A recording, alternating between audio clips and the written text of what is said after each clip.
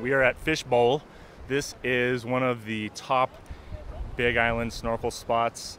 Uh, I love it because it's so secluded. It's impossible to get to from shore. You can only do it by boat. And once you get here, there's a spectacular underwater topography where it kind of drops off. It forms like an underwater amphitheater. Um, gets deep pretty fast, so you get potential for pelagic animals coming up close to shore, like uh, you know fish, uh, whales, all kinds of stuff. Looks like there's a turtle out there. There's a turtle out there, guys.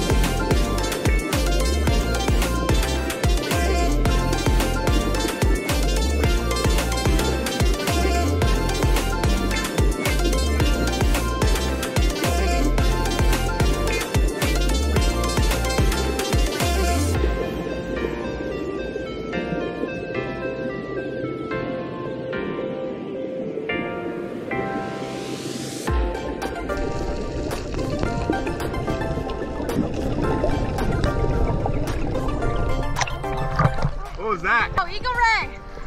Yeah, yeah.